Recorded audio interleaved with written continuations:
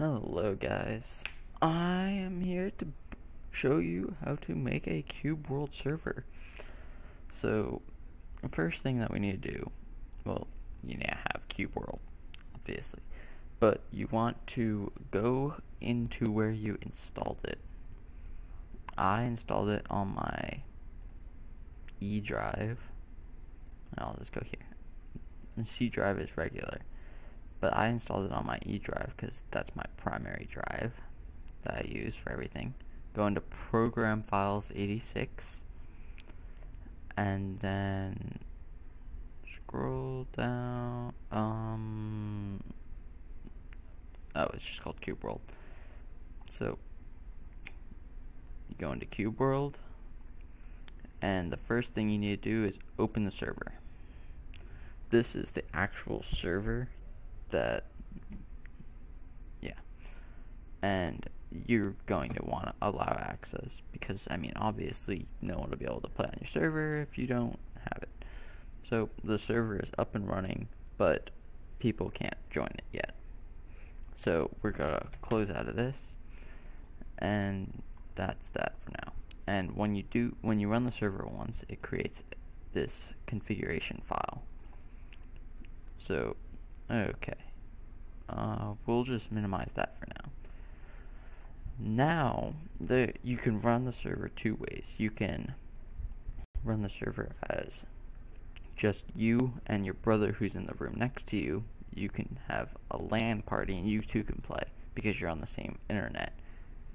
But if you and your friend who lives across town or in China or something want to play, then you need to create a public server so that both of you can play. So the first one is LAN. So that's where you and your brother in the other room can play. So you're going to want to open up the C command prompt, which is CMD, and you're gonna want, and you should see this, and you're going to type ipconfig and you're just gonna see a ton of nonsense that you don't even really need to worry about. But you want to look for this one, the IPv4, and get that address, 192.168.1.3.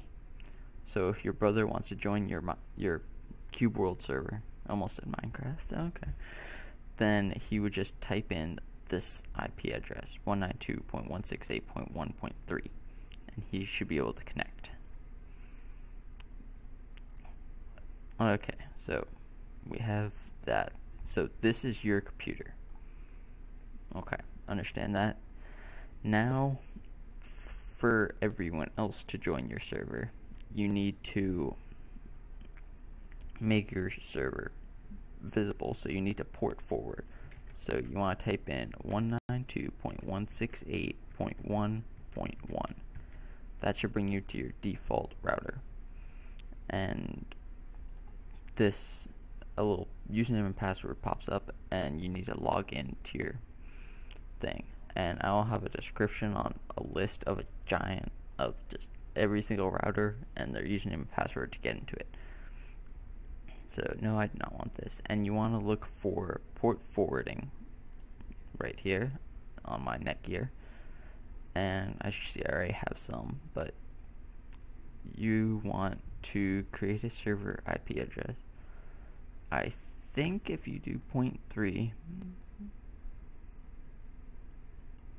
port forwarding 0.3, click add, oh crap, whoops, delete that one, no, add custom, so add custom, so we're gonna call it cube world, you want TCP and UDP, starting port is 12345, and the same thing for the ending port. We're gonna put the server IP address on 3 because that's what it is there pretty sure that should work. And we're gonna click apply. Oh, can't have a space up here. Gonna click apply, and there we go. Now we can exit out of that, don't need this anymore. Let's start up the server.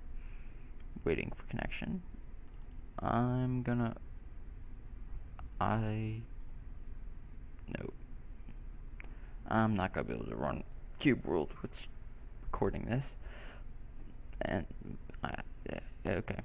Yes, so we have the server. You should be able to just click join server in Cube World and just type in, oh that's what I need to go over. What is my IP? You do what is my IP? Give this to your friend in China or wherever after you opened up your server in your Cube World folder. And he will be able to connect with this IP address. You need to give him this one, or else it won't. But if you're playing with your brother, then you could just give him the IP address that you saw in the command prompt. And that is pretty much it, I think. Uh, I have fun with your servers. Maybe you could join mine eventually. Yeah.